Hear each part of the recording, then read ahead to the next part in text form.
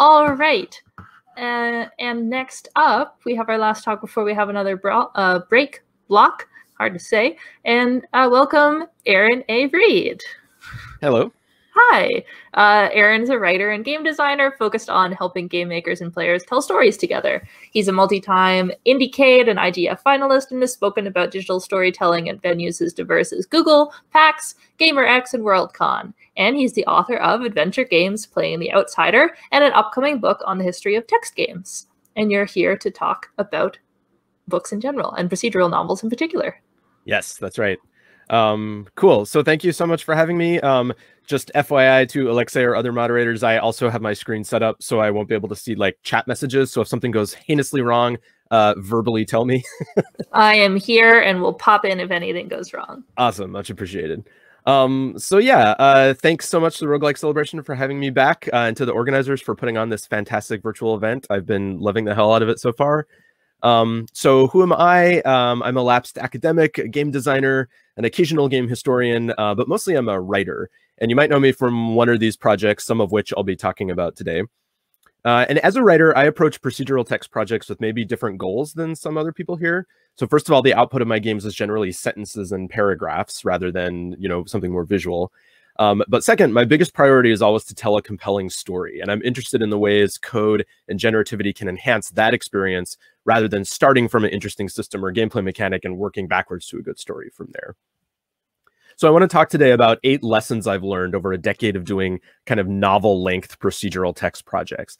There's a lot to cover, so I'm going to jump right in. But I just want to say that these points are all descriptive of my own experiences, not necessarily proscriptive for you. I'm not saying everyone should do these things, especially if you're more on the roguelike side than the interactive narrative side. These are just kind of my personal milestones that have evolved my own design philosophy. So let's get to it. Uh, number one, simulate only what the story needs you to simulate. Lots of us here love simulationism. I do too. It's fun to play with simulations, and it's even more fun to make them. But in my own work, I've learned that just simulating things for the sake of it without a strong sense of how that's helping to tell a story can be a distraction from focusing on what's going to best shape the narrative experience I want my players to have. So to illustrate this with a project of mine, I want to talk about text adventures or interactive fiction. These were my gateway drug into procedural storytelling. And these games are very simulationist. They drop you in an environment uh, that describes what you see, let you say action by action what you're doing. They have a world model with rooms and objects and inventory and containment and light sources and locked doors and keys and all of this stuff. And it can be incredibly fun to play in those worlds when it all works. But quite often you run into limitations where the player's imagination sort of exceeds the boundaries of the author's simulation. So around 2005, I decided, as I think almost everyone does who gets into writing text adventures, that I was going to solve this problem by making this sort of uber text adventure that sort of simulated everything. It would have responses to anything you could possibly type. It would have a dynamic world you could explore every corner of. You could interact with everything. Your choices would really matter, the whole shebang. So uh, I ended up making this game. It was called Blue Lacuna. It took me four years to write. By the time I was finished, it was close to 400,000 words long. And it was at that point the biggest text adventure that had ever been written. Uh, I printed it into an 800 page book mostly for my own amusement, and a good chunk of that book was code to describe the game's setting of a tropical island in prose. And I went a little overboard with the world simulation. So I had a full day night cycle with 10 distinct lighting periods. So rooms at twilight would be described differently than at sunrise or mid morning. There was a moon that went through realistic phases and caused tides, which also changed room descriptions and what parts of the island were accessible. Each room had a numerical elevation, so that supported a scene where a tsunami hits the island and the water realistically rises. There was weather. There were ambient messages triggered by the weather, or the location, or the time of day, or what the tides were doing, or obscure combinations of all of those things. And people noticed almost none of that, or if they did, it wasn't really what they remembered. So when you look at this room description, you don't really realize or care if there's 18 different variations of it or that the trees are only swaying because there's a storm coming in or whatever. In fact, you don't really care about this location at all, except to the extent that it's a stage for something interesting to happen on. But what people did remember about Blue Lacuna was the other half of that giant tome, which was uh, the code built to simulate the game's main character, a castaway named Progue. So this is a word cloud of that 400,000 words of source text. And it's interesting that the most mentioned word is Progue, the name of this character, and all of the other words that are even visible at this zoom level are Inform 7 reserved words. So obviously this was a huge part of the final game. So at the time I started making this, I'd never really seen a character in a game that you could have a dynamic relationship with that grew and changed over the course of a novel length story. So I'd sort of, you know, loved uh, games like Emily Short's Galatea, whoops, that um, you know, let you have these rich conversations with characters. But I wondered what it would be like to extend that kind of relationship with the character beyond a single scene. So what I built to enable this for Blue Lacuna was a library of dynamic conversations, uh, more than a hundred of them that weren't directly connected to each other, but could be triggered at random or based on the game state or various other things. And in each of those conversations, the player has the chance to make choices that alter their relationship with Progue, that central character, along one of several axes. So there was an affinity axis, how much he liked you or not. There was kind of a submission dominance axis, how much in control uh, of the relationship and the conversations he felt he was and an axis where on one end he was kind of having romantic feelings towards you and on the other end he was having more sort of paternal father figure feelings towards you.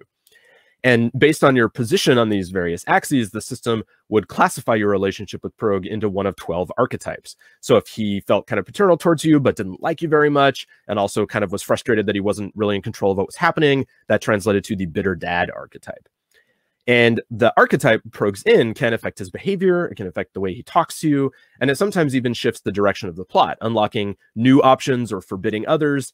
And the end game has this pretty complex flowchart. This is actually only a part of it, based on what archetype Prog is in and sort of your previous choices leading up to the climax of the plot.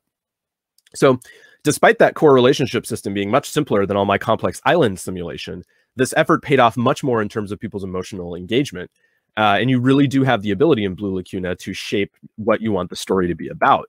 Is it about Progue finding redemption through his friendship with you? Is it about the player becoming the hero and making the moral stand that Progue was too weak to ever make? Do you inspire him to become a better person or does he inspire you to? Your choices over time really do determine that. And the player can sense that, I think, more than they sense all the mechanisms behind the simulation of places and objects. And that really resonated with people. I haven't ever made another big immersive simulationist game, in part because I realized I'm less interested in immersing people in an environment than I am in making them feel an immediate connection to story and characters. And this was actually a really helpful realization because it's let me focus my energies since then on creating procedures that will enhance that aspect of the player's experience. So, number two, remember and respect the player's choices. A little of this goes a long way. And so you saw a lot of Blue Lacuna's complexity is in honoring the past choices the players made.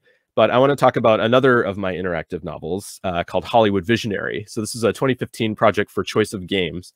It's set in 1950s Hollywood, uh, where you play a director of an upstart independent studio who gets caught up in the McCarthy era fear of communists and nonconformity and have to learn what you're willing to sacrifice to realize your dreams. So I was resistant for a long time to working in a sort of choice-based format because I'd always thought that it didn't offer players enough power of expression. But what I realized as I started building this was that even in that kind of format where the player's only ever choosing between fixed options, if enough of those choices build up over time and the game remembers them, they can cohere into something that feels unique and personal for each player. So in this game, you can make your own movie. And all these little choices you make about genre, about casting, do you want to cast big name actors or bit part, uh, you know, uh, character actors? Do you want to cast them two or against type? Do you want to shoot in color or black and white? What kind of soundtrack do you want to have? How tight you want the editing to be? All these little choices get remembered.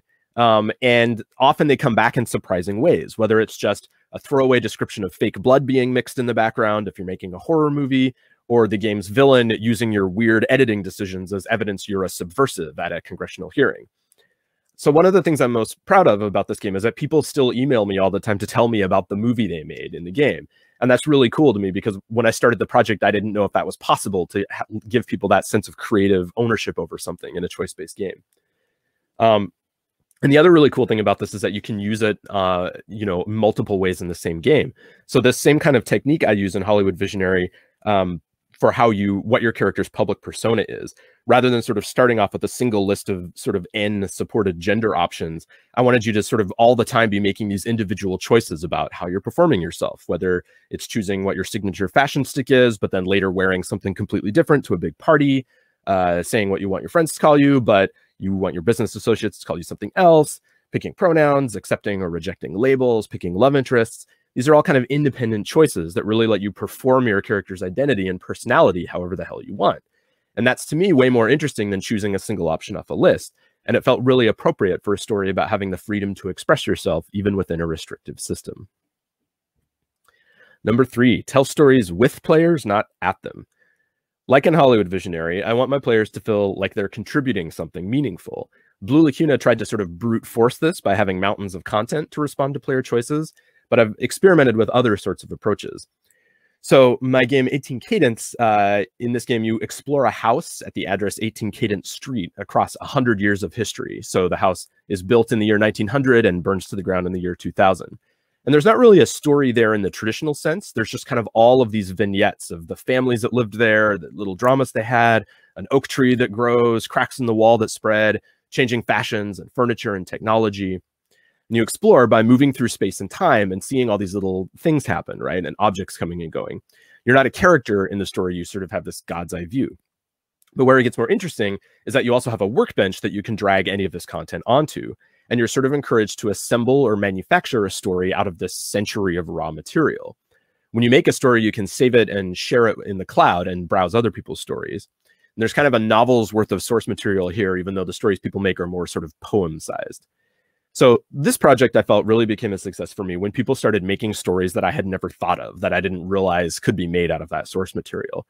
And just a couple of my favorites uh, this one is about a disgruntled housewife who's just kind of depicted endlessly taking mundane actions while the house just kind of oppressively exists around her. Uh, in this one, uh, people use the ability to sort of drag two pieces of text that didn't go together on top of each other to make these sort of surreal sentences like a brash ashtray smokes a last cigarette.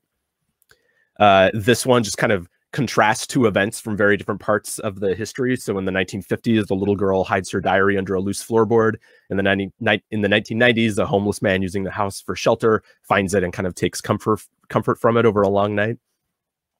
This person just pulled all these uh, sentences about people reading books over the house's history. Uh, and this person just overlaid all of these objects that were found in the kitchen. And this to me suggests like this e- image of all of these echoes of thousands and thousands of meals that were made in this kitchen over the years. So this is very different from a lot of my other work. It's not really a game by a lot of definitions. There's no simulation and you don't really have a character and you can't change the state of the underlying story material. But it was a successful kind of edge case experiment in forcing the player to make meaning out of the story only by becoming a storyteller can you get to a satisfactory ending, quote unquote, to 18 Cadence. It's literally a story that's not going to tell itself. You have to collaborate with me to tell it. Number four, limiting the generative space can be more powerful than expanding it. So the tendency, I think, is always to want more out of our generative systems. In Hollywood Visionary, it felt like the more options to customize your movies or your character, the better. And in Blue Lacuna, the more options in conversation I wrote or the more unique reactions to player decisions always felt like the ideal goal. But even back in Blue Lacuna, I realized that more wasn't always better. So with Progue, I deliberately decided that paternal and romantic feelings should be the same axis because I just wasn't interested in telling creepy Oedipal stories, right? Um, but I think a better example of limiting the generative space is my most recent project, which is a procedural novel called Subcutanean. So this is in some ways the closest thing to a traditional novel of the projects I'm talking about today, but it's also radically procedural. It's a horror novel uh, and also kind of a queer coming of age story about two friends with a complicated relationship who get trapped in this infinitely recursive basement that kind of multiplies everything that comes into it people, emotions, even dimensions. So it's a book about alternate versions of yourself and parallel realities and being afraid you're stuck in the wrong one. And what makes it unique is that each copy is different. When you order the book from my website, a new version is generated from a possibility space that contains hundreds of alternate versions of sentences and even entire scenes. This is then automatically laid out, typeset, and uploaded to a print on demand service. So the seed used to generate your book is tracked in a database and is never used again. So no two copies are exactly alike. So this might sound kind of like a project from NaNoGenMo, the National Novel Generation Month, uh, but it's actually much less generative than most of those projects tend to be. And for my purposes, that's really a good thing. So I had a very specific story I wanted to tell here about friendships and coming out and growing up. And I wanted that story to work for the reader across every single one of those different copies. I didn't want it to feel procedurally assembled. I wanted it to be as compelling and readable as any traditionally written novel. The difference was that I wanted you to share the same feeling as the main character, that there were other possibilities out there that you were missing, wondering what was happening in them, the knowledge that this isn't the only way the story could turn out. So I exerted a really tight control over the output here. There's no GPT or Markov chains or procedures that might produce unpredictable text. Instead, it was more uh, like hand sculpting a possibility space. So all of the variations are handwritten, and each time the book is rendered, it picks one possible pathway through each chapter. The chapters themselves move through a plot that's fixed in its overall shape, but varies in sometimes trivial but sometimes crucial details, with different secrets and revelations, different conflicts, different beats of character development, and different overall resolutions. So this was kind of another weird experiment from the sort of game's perspective. The player, quote unquote, here doesn't really have any, can't do anything at all, right? They don't make any decisions. They're just reading the aftermath of a bunch of offline procedures. But that really forced me to think about how to make those procedures produce something truly compelling, even without the allure of getting to operate them yourself. So at first, when I started writing this, I was writing all kinds of wild variations of scenes just because I could, and that seemed like the thing you're supposed to do when you're writing procedural text, right? But the more I revised, the more I trimmed down that possibility space to something cozier and more curated. I became most invested in the tiny, carefully positioned changes that said meaningful things about the characters, the possibility inherent in their troubled personalities or in the different directions their lives might have gone. So, how does being introduced to a character with he was trying to quit smoking versus he kept trying to quit smoking change your perception of him? When can you leave out or add a single sentence that totally changes the way you feel about a scene. With most procedural text systems, you can easily get into trillions and trillions of possible combinations. But for this project, I realized it was fine to more carefully deploy the procedurality to moments where it really mattered. And that was far more interesting than just increasing the number of zeros on this meaningless number. Even within a highly restrained structure, there was still more than enough room for every reader to have a unique experience, one that lived up to the sort of higher standards I went in with. Subcutanean has gotten really good reviews, and most of them are more excited about the story than the system that assembled it, which I think is great. And it's really common in reviews for people to say, I can't imagine the story happening any other way, or something to that effect, even though they know that it actually can and does. And I really can't think of a greater compliment than that. Number five, the more you understand the texture printing, the more interesting things you can do with it.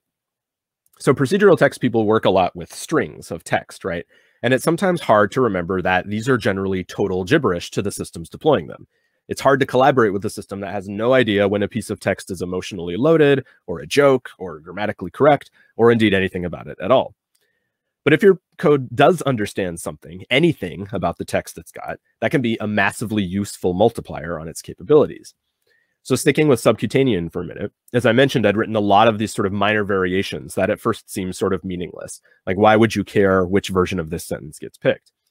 And at one point, I was tempted to just cut all of these. But then I thought of something much better to do with them, which was to treat them as tools for characterizing a particular narrator. So I plugged in some simple lexical analysis tools that could tell me, for instance, that one of these variants has more negative sentiment than the others. I could then define a chance for each generated subcutanean to have a narrator who was kind of a pessimist and would prefer variants with negative sentiment. Other narrators might be based on anything else we could glean from an analysis of the text. Narrators who like to use color words, who like to use or avoid simile, narrators who prefer or dislike alliteration, or try to avoid the passive voice, who like to ramble on or prefer the shortest way of saying something. Assembling a random team of narrators for each book now means a choice like this isn't just a roll of the dice, it becomes a way of consistently characterizing each possible version of the narrator of this story, giving each book a consistent voice. I use the technique or variations of it in a lot of my projects. In 18 cadence, sentences you drag onto the workbench have an understanding of what part of the history they're referring to. So they're not just that string of text, they have structured data. And this lets me do neat things, like when two fragments about the same person get close enough to each other, the second one replaces their name with the pronoun. And if you reposition again, the program repositions itself too.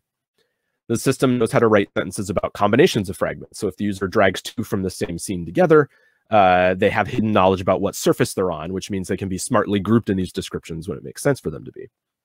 And all of these things are very minor, but they just sort of make the experience of playing with 18 cadence fragments more immediate than just dragging around fridge magnets.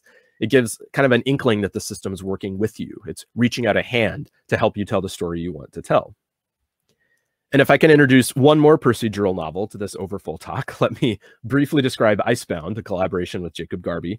In Icebound, you used both a physical printed book and a digital game to explore the unfinished manuscript of a long dead author who's been brought back to life in a not too distant future as an AI simulation. In the game, you collaborate with this digital ghost to explore different ways his story of doomed polar explorers might have ended. There was a lot going on in this project that I don't have time to get into, but part of the gameplay involved dragging lights into story sockets to activate them and make the element they connected to provisionally part of the story draft. And what was cool is that each of these was tagged with themes that were important in your digital collaborator's life dedication or family or fragility, for instance. And this allowed the character in the game to have an intelligent conversation with the player about the story they were building together, noticing if they were consistently emphasizing a certain theme, using two contrasting themes together, ignoring something that he thinks is actually really important. So the player isn't just toggling arbitrary strings of text on and off here, they're actually manipulating a narrative machine. And that makes the experience much more meaningful. Number six, procedural stories don't have to be immersive. In Icebound, you're not a character embedded in the narrative. You're more like an editor, viewing the whole of a manuscript from a high level and making executive decisions about it. So part of the mechanics are that dragging the symbols around immediately shows you how the consequences ripple through the whole story from beginning to end.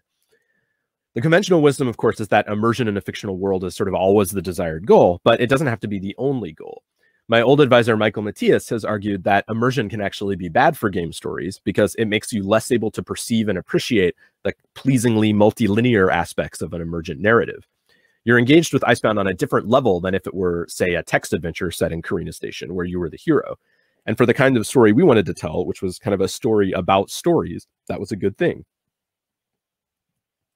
And the sense of being apart from the story is also seen in 18 Cadence. And I don't think it makes the story less powerful, maybe actually the reverse, because you have this God's eye view of how all these people's lives intersected and echoed each other in this poignant way that none of the characters ever individually appreciated. Now, you can say that in both these cases, you're just you're sort of immersed, but like on a different level, right? You're kind of more like a detective or an editor in a frame story rather than in the internal story. But I think it's a useful exercise with procedural narrative to think outside the box and question whether there are other modalities than traditional immersion that you can give players interacting with your text.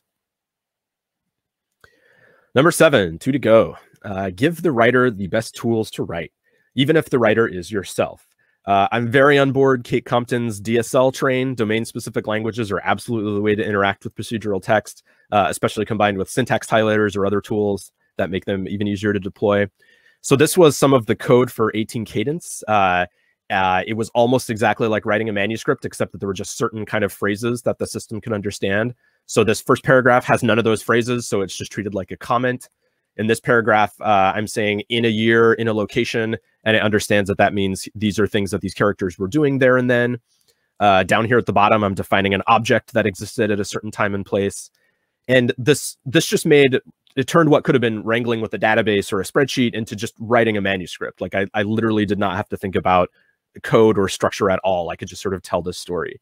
But it was crucially, I was telling it in a way that my game could understand. Uh, similarly, in Subcutanean, I made this very simple DSL for defining uh, text alternatives, um, where again, I could just spend the vast majority of my time not worrying about syntax, but just worrying about the words.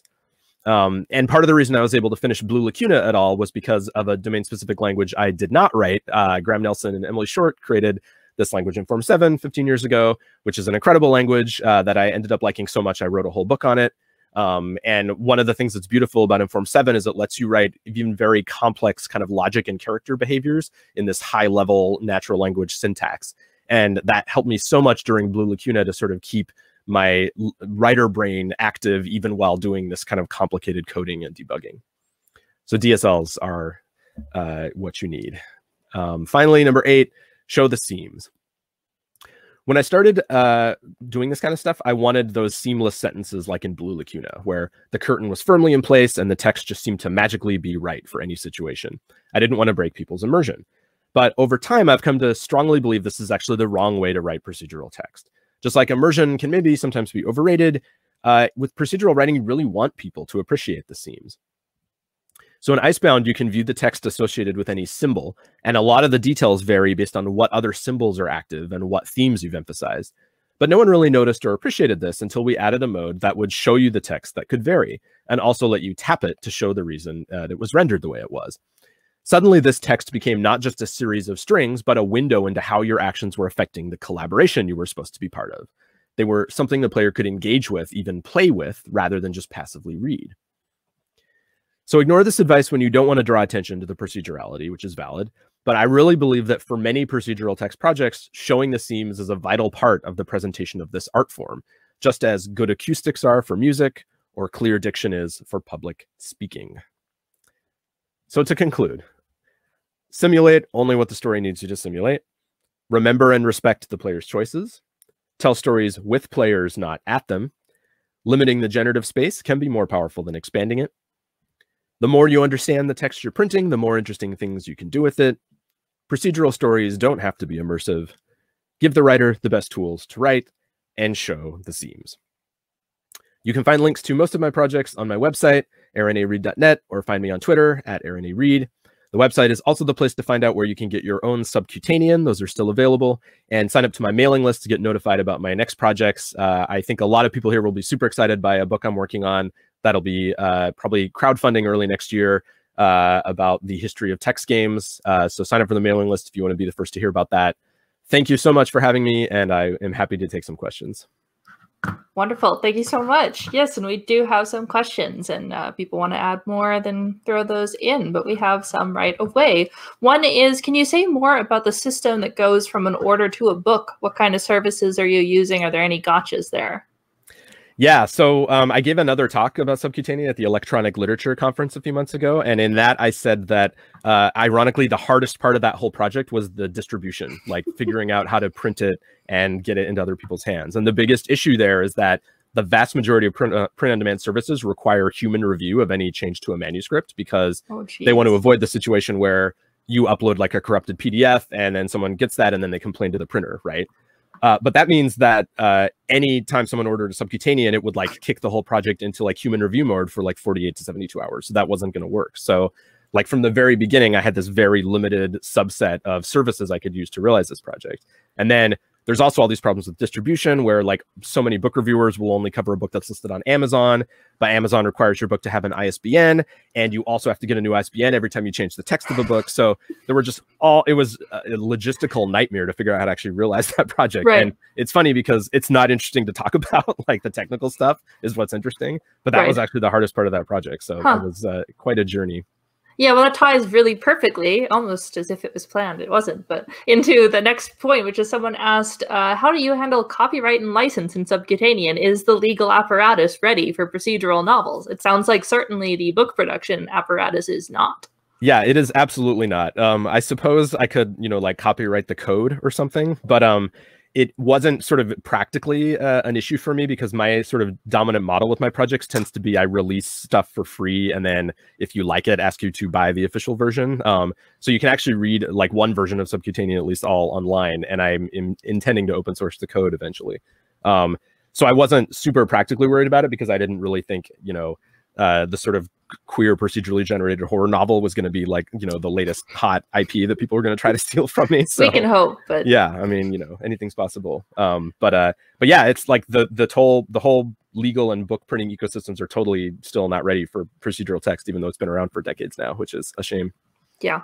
There's one last question. Uh, what sort of tools did you use to generate heuristics for narrators making choices on what sentence variant to use yeah that's interesting um so it was mostly very um guided by sort of my gut instinct. I didn't do mm. a lot of sort of like uh, science to come up with those. It was mostly just as I was writing variations, I would start it start noticing things like, oh, it feels like some of the time when I write this, I want to be kind of snarky, but other times I don't. So maybe actually that's the narrator is like you know one that plugs into a sarcasm detector or something. I didn't actually build that one, but right. but it, it would be those little differences I would notice in like as I was projecting myself into this space of possible ways I could write this, and then thinking like, oh, that one would be easy to carve off because like there's a you know Python function in this text analysis library I could use that would detect those kind of sentences, right? So it's kind of a combination of knowing what tech I had available and noticing the ways I was writing things.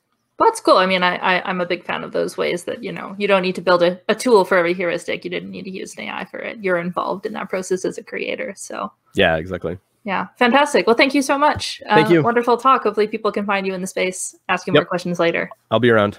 All right, perfect.